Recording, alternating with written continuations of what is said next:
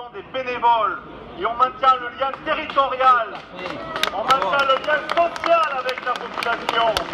Le jour où vous aimez le maire et l'équipe municipale, vous créez des déserts sur nos territoires. Et vous savez très bien que le maire et son équipe municipale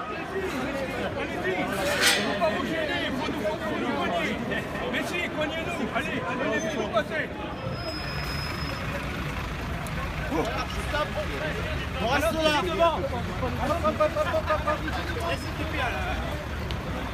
Nous sommes des citoyens actifs Et en plus, nous sommes des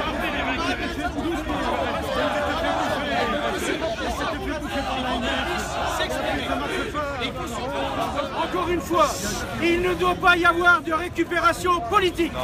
Nous sommes là pour défendre une identité, c'est l'identité rurale.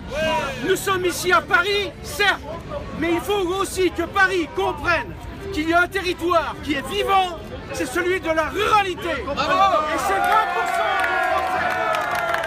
Il faut aussi que vous vous mettiez les médias dans la tête que forcément vous êtes souvent sensibilisés par le milieu urbain et vous n'avez pas forcément l'écoute du milieu rural. Nous avons besoin de nous exprimer comme tout un chacun dans ces médias. Ne soyez pas les relais, ne vous faites pas complices d'une certaine urbanité qui veut tout simplement nous bouffer. La loi NOTE, c'est tout simplement la fin des communes libres.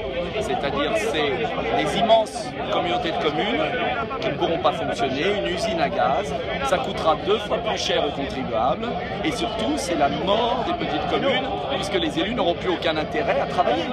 Parce qu'on n'aime pas les maires, on dérange On Non, dérange on casse un ressort.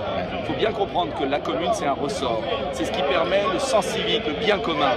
Et ils cassent ça pour fonctionnariser et bureaucratiser tout l'échelon local. Mais après, ils s'étonneront de voir la France en friche, ils s'étonneront de voir l'abstention, ils s'étonneront de voir le- la cassure du lien social. Donc c'est une affaire gravissime. Il faut informer nos citoyens parce qu'ils sont pas au courant. Pas du tout. Il faut surtout informer les maires pour qu'ils soient ici beaucoup plus nombreux la prochaine fois. Merci.